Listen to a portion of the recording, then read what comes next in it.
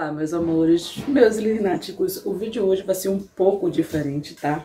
Hoje vai ser realzão pra vocês, no meio da minha bagunça, sem água, sem nada, e a gente vai tentar gravar aí um cozinha e fala, tá? Então, eu já começo o vídeo assim, eu vou tomar meu café, meu cappuccino, sabe? Eu não consigo comer nada de manhã, a única coisa que eu tomo mesmo é um café. Quando eu não tomo café, eu tomo meu cappuccino. Já tem vídeo no canal do cappuccino, como é que eu faço pra vocês aqui. Tá? Eu vou deixar na descrição do vídeo.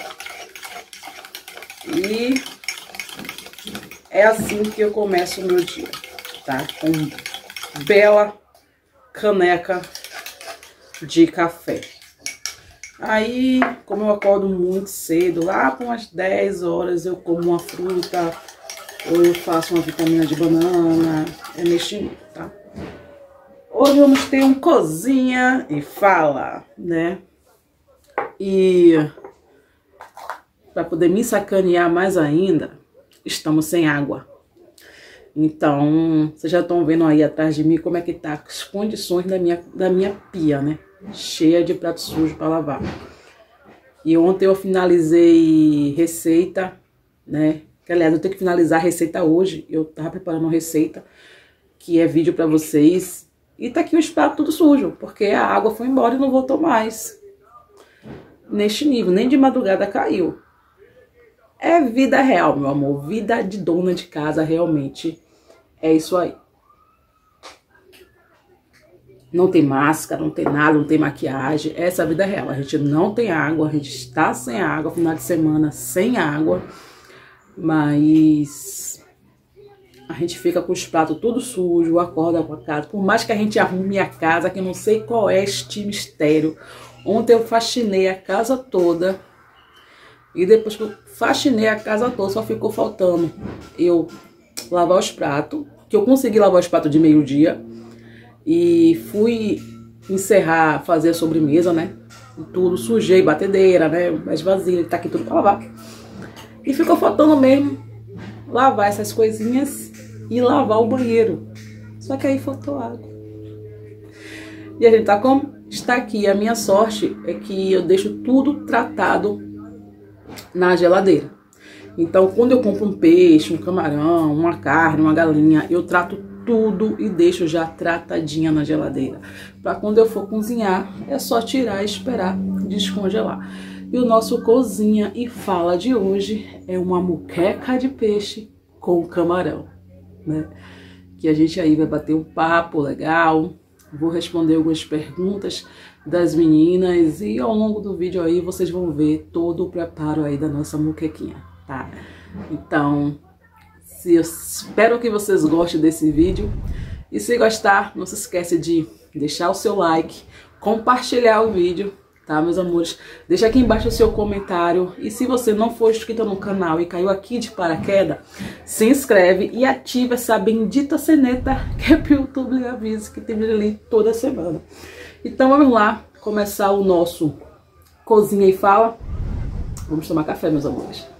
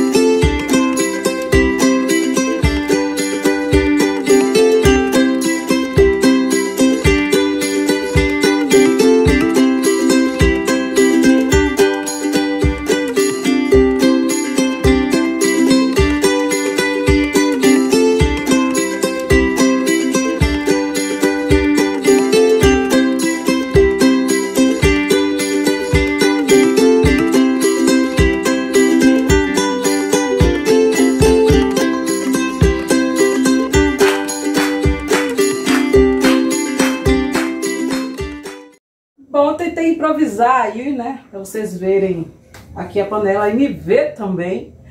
Então, vamos lá. Gente, eu gosto de começar assim, tá?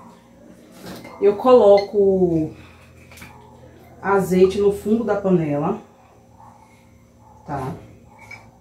E eu só coloco, particularmente, eu, Lilian Reis, só coloco o peixe para cozinhar quando for hora, tiver faltando meia hora para eu almoçar, eu coloco ele para cozinhar, porque eu não gosto de estar tá esquentando, porque pode esbagaçar, tá? Então eu começo assim, coloco um pouquinho de azeite no fundo da panela, azeite doce. Aí eu faço uma caminha com cebola, tá? Em rodelas. E eu, sinceramente, não sei como é que o pessoal consegue fazer muqueca sem, sem azeite, com extrato, com, com corante. Pra mim, isso não é muqueca, isso é ensopada. É a opinião minha, tá, gente? Eu vou tirar aqui o plástico filme, que é pra não deixar cheiro na geladeira. Pegar um garfo. Meu peixinho aqui já tá temperado com aquela minha pasta que vocês já conhecem, que é com alho, cebola, coentro, hortelã. E dessa vez eu coloquei sal, alecrim, coloquei também manjericão, para dar um gosto a mais. Então eu temperei com aquela pastinha, coloquei um pouco de sal e pimenta cominho, tá? Cominho. E eu vou colocar o meu peixinho aqui, fazer uma arrumação nele. E eu coloco, quando eu faço moqueca de peixe com camarão, eu coloco sempre o camarão por último, tá, gente? Eu não... Eu vou despejar o meu camarão, tá? É um pouquinho de camarão, acho que aqui tem mais ou menos umas 300 gramas de camarão. Que foi um pouquinho que eu separei com... Eu separei porque eu vou fazer o camarão do coco bambu. Então eu separei um pouquinho porque deu vontade de comer uma moquequinha, né? Agradar a mãe um pouquinho, porque eu fiz coisa aqui com camarão e minha mãe não pôde comer. O próprio tempero do peixe, tá vendo?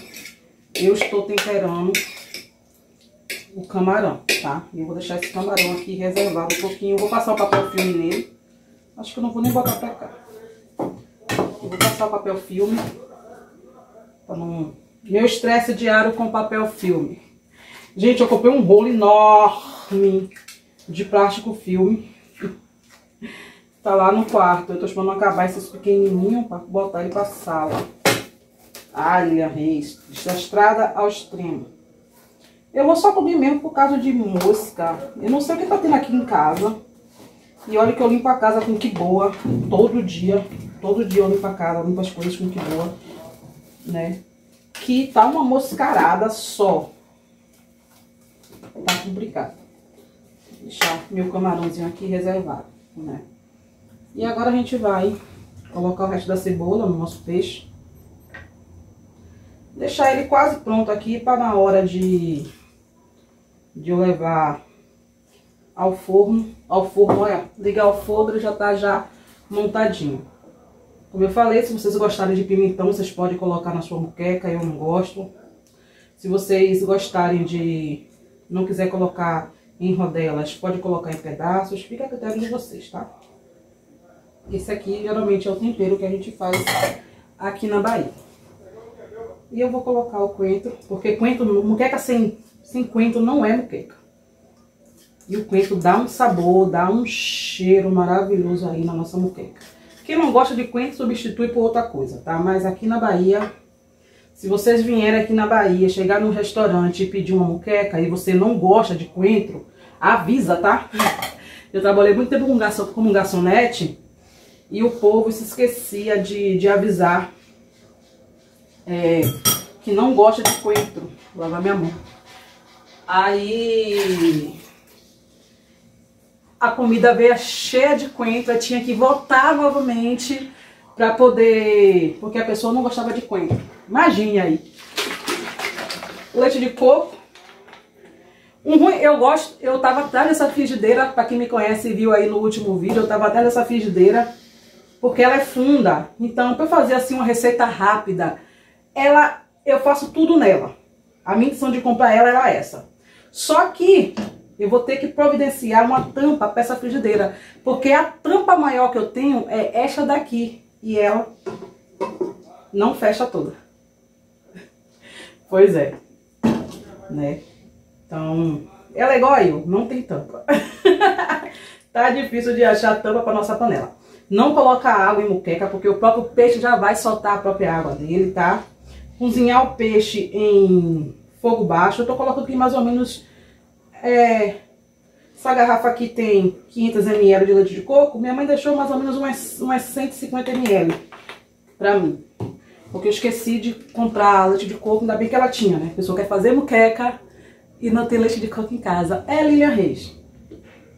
E, gente, eu vou botar aqui o azeite a gosto, tá? Aqui o azeitinho, bonitinho. A gosto mesmo. Vou deixar um pouquinho de azeite para na hora que for cozinhar o camarão. O camarão é por último, porque se eu cozinhar ele junto com o peixe, ele vai ficar meio emborrachado. Então eu vou deixar o meu peixinho aqui, nesse temperinho, e na hora que eu for cozinhar, eu vou ligar ele, tá?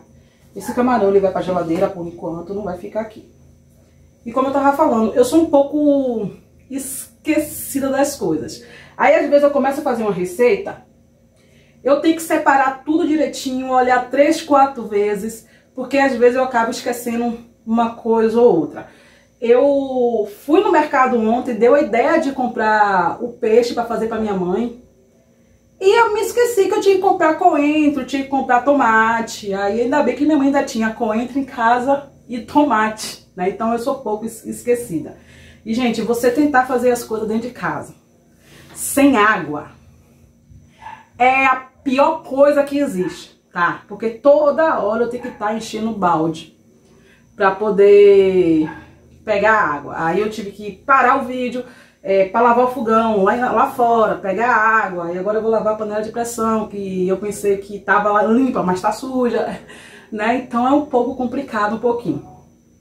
E eu agora vou fazer o quê? Vou colocar o arroz no fogo. Ixi, eu tenho que ver se realmente tem azeite. Porque eu vou fazer uma farofinha de dendê. Vou colocar agora o arroz no fogo, tá? Passar uma vassoura rápida na cozinha. E a gente volta para conversar mais um pouquinho. E... Vamos começar aqui a acender os fogos, né? para poder fazer a nossa comida. Eu desliguei o acendedor automático do, do fogão porque tava dando choque. Então, bota logo arroz pra cozinhar, já liguei a muqueca. Porque tava dando choque. Aí eu acabei de ligando o acendedor automático do fogão. Só por causa disso. Eu vou colocar azeite aqui na panela. Porque eu já vou começar a fazer o ter que botar esse azeite em banho-maria. Vou botar um pouquinho de azeite de dendê. Eu vou colocar de manhã, ver se amanhã tem azeite para poder fazer a farofa. Vou colocar azeite também, doce. Porque aí eu já vou dar uma selada no camarão. Pra quando o peixe estiver quase estiver cozido, eu jogar o camarão. Liga, meu filho. Eu jogar o camarão, né? Aí eu deixo ferver por mais uns dois minutinhos e desligo o fogo. Então, tá aqui. Eu não mexo, tá? Ele fica assim. Não coloco água nem nada. De vez em quando eu venho, dou uma chacoalhada na panela e pronto. Mas nossa moqueca tá aqui. Eu vou tampar. Essa tampa é pequena pra essa panela. Vou pegar meu camarãozinho. E... A Rita perguntou quando é que vai ter live. Só quando a minha webcam chegar, eu vou fazer a live. Live pra vocês, tá? E quando também eu consertar minha internet. A... O Renan. Como tá o seu coração? Está namorando? E o que tá te deixando tão feliz ultimamente? Meu coração tá bem, graças a Deus. Vou botar aqui. Coraçãozinho tá bem, muito bem, obrigado, por sinal. E não, eu não tô namorando ainda, não tem nada certo ainda, mas eu conheci uma pessoa estamos conversando. Estamos nos entendendo à distância, né? Quem sabe? E porque eu estou tão feliz ultimamente, porque as coisas estão tá dando super certo na minha vida, né? As coisas estão fluindo bem. Eu tô conseguindo realizar os meus projetos, eu tô conseguindo me organizar, eu tô conseguindo ajeitar minha casinha. Meu filho tá comigo, então tô com saúde, minha família está com saúde. Então é por isso que eu tô tão feliz ultimamente, tá? Acho que quando a gente começa a realizar os nossos sonhos, começa a realizar os nossos projetos, a gente começa a ficar feliz, né? Porque ah, era um sonho eu ajeitar a minha cozinha, deixar a minha cozinha do meu jeito. Só não tá totalmente do meu jeito porque é uma cozinha pequena, mas tá do jeito que eu gostei, eu tô conseguindo comprar minhas coisas. Então isso é que me deixa feliz. E meu coração tá bem, sempre esteve. Eu sou uma pessoa que eu não me apego muito a detalhes. Eu não fico sofrendo por causa de relacionamento que acabou. Não, eu simplesmente sigo em frente, né? Tô conhecendo uma pessoa, tô gostando de conversar com ela, a gente conversa quase o dia todo no WhatsApp, né? E quem sabe aí, se der certo a gente inicia um relacionamento, se não der a gente segue em frente. Bom, eu vou deixar dar uma seladinha mais ainda Tô vendo que muda de cor rápido e o cheiro, gente, fica maravilhoso. E a outra pergunta foi do Júnior Basto.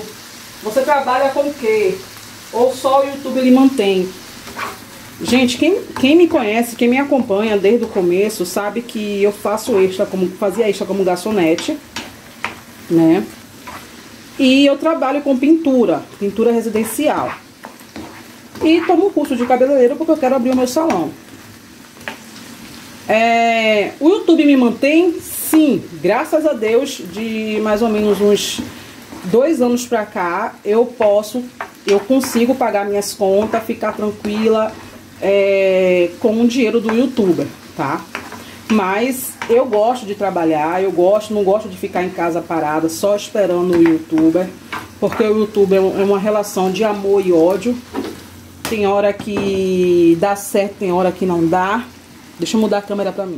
Falando, né? O YouTube é aquela relação de amor e ódio, porque tem dias que, os, que o, o seu canal, ele tá correndo bem, os ganhos estão aumentando, mas tem mês, amor, que você vê os seus ganhos totalmente despencar. Mas, é, de uns dois anos pra cá, eu tô conseguindo me manter, tô conseguindo pagar minhas contas, é, ficar com um dinheiro reservado. Tô recebendo um, um, às vezes eu recebo um salário, às vezes eu consigo tirar mais que um salário. Isso depende muito da boa maré dos meses do youtuber, tá? Tem meses que você consegue tirar uma quantia boa, tem meses que você consegue tirar só o suficiente para pagar as contas. Meu camarão aqui já tá no ponto. Eu vou desligar para não ficar borrachudo. Pra quando nossa moqueca estiver quase pronta, eu jogar ele lá dentro. Então eu consigo me manter. Mas eu quero montar um salão. Então eu preciso trabalhar fora. Então eu trabalho com pintura residencial, tá? Evento de garçonete não tô fazendo mais por causa da pandemia, então não tem como mais fazer eventos como garçonete. E quando rola assim alguma pintura pra ir, eu vou fazer, porque já é um dinheirinho que eu pego, já guardo pra futuramente eu fazer aquilo que eu quero. Então, além do youtuber, eu tenho uma, uma, outra, uma outra renda que é o meu trabalho autônomo, né, aí para poder a gente conseguir elaborar as coisas. Eu geralmente não fico parada, tá? Não fico mesmo. Antes do youtuber começar a me dar um salário, a eu conseguir pagar minhas contas, eu vendia sorvete em casa, gente. Então, eu vendia sorvete em casa, que era que me ajudava a pagar as contas. Ao contrário que, os, que o povo pensa de mim, que eu fico nas costas da minha mãe, realmente não sabe é, como é minha vida, como é o meu dia a dia. Então eu nunca fui de negar trabalho, né? À toa que eu trabalho com uma coisa que nenhuma mulher quer trabalhar, com pintura. Ninguém quer se sujar de tinta, ninguém quer se melar de poeira. Então eu não fico parada. Desde quando eu comecei, a eu botei na minha cabeça que minha mãe não ia ficar me dando as coisas o tempo todo, desde adolescente, eu sempre corria atrás do meu, tá? Então eu vendia sorvete aqui Agora, esse tempo que eu parei de vender sorvete, mas eu penso em voltar. Eu vendia cerveja. tá? Eu ia lá no bar, comprava cerveja para vender em casa. E o engraçado era, é, eu morava no último andar, então eu descia a cerveja pela cordinha, botava na sacola, o pessoal me gritava, eu vendia cerveja, então sempre corria atrás. Nunca quis esperar por ninguém. A ajuda da minha mãe é bem-vinda, sim, sempre foi bem-vinda. Mas eu nunca fui de esperar, principalmente por homem nenhum, tá?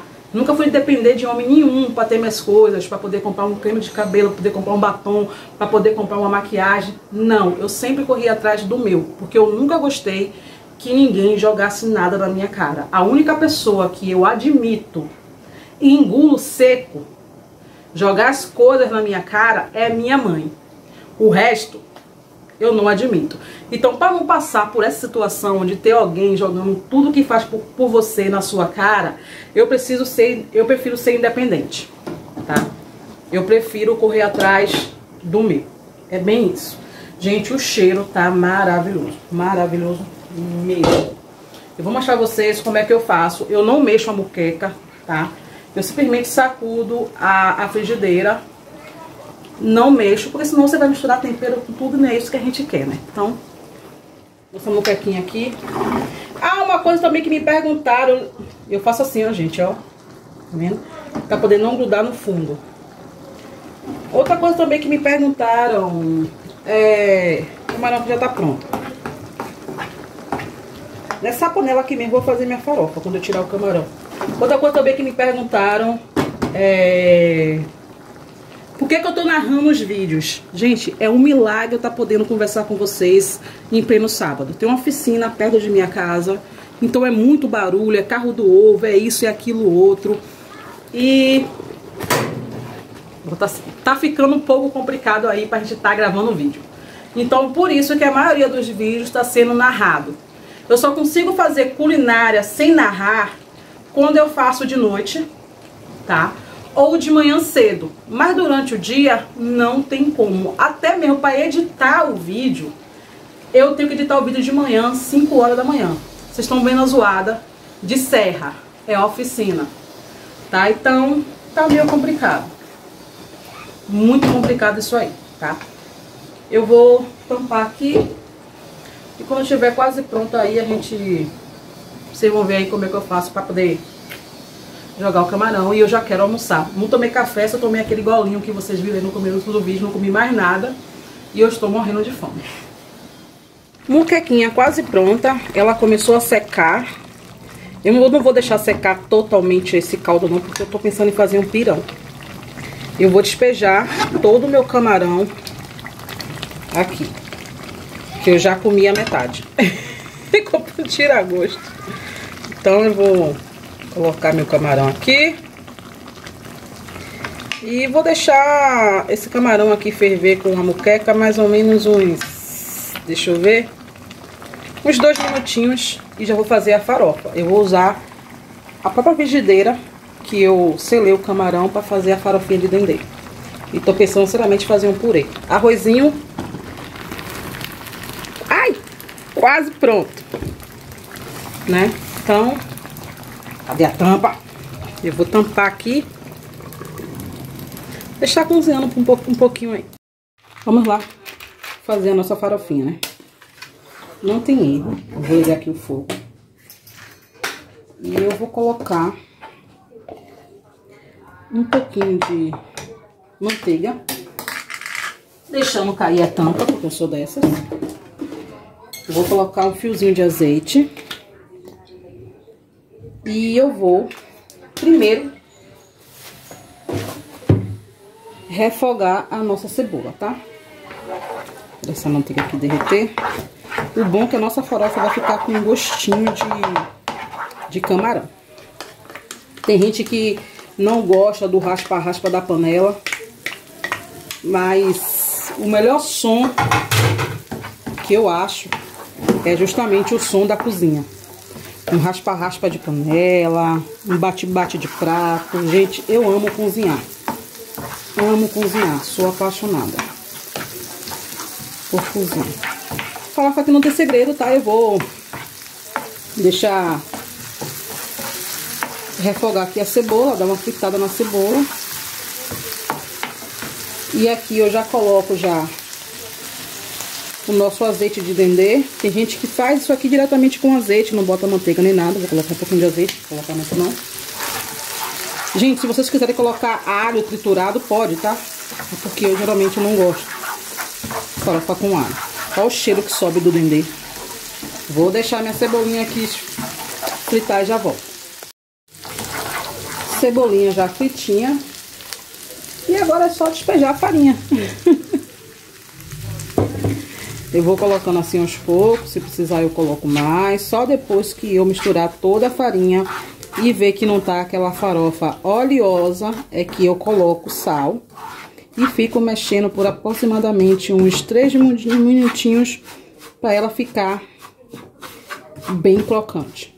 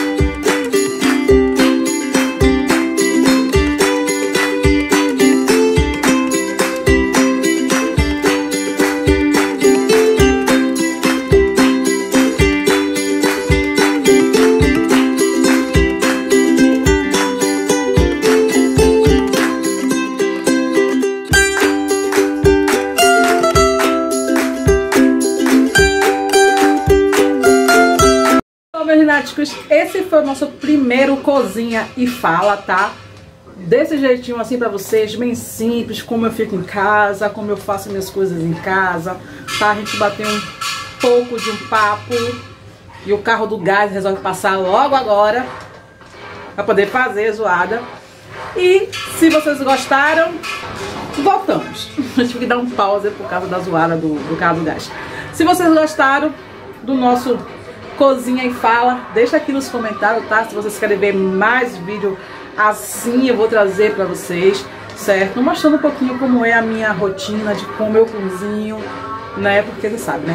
Eu amo cozinhar. E também a gente se conhece mais um pouquinho, a gente bate um papo. Então não se esqueça de se inscrever nesse canal se você chegou aqui agora, compartilhar o vídeo, dar like aí, porque o like ajuda muito a que o YouTube recomende mais ainda os vídeos, tá bom? Ativa essa bendita sineta, né? Pra que você tenha aí vídeos toda semana da Lili. E agora eu vou almoçar, tá? Descansar, porque eu preciso organizar meu home office, tá bom? Então é isso aí. Um beijo, cheiro, fique com Deus. Bye. Fui. Tchau, meus amores. Eu agora vou saborear esta delícia de muqueca de peixe com camarão. Hum. Tchau.